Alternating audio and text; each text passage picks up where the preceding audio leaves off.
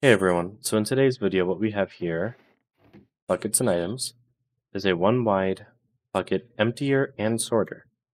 So I tried to make a one wide bucket sorter, but it was proving too difficult. So what we do is we just break the water and the lava as it comes through.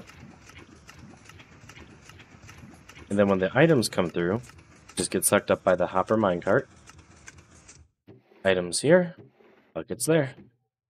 Now, I know you might be thinking, well, it's kind of a waste that the water and lava gets destroyed, but there's oceans in the nether. So, it should be fine. Quick little video. Hope you like it.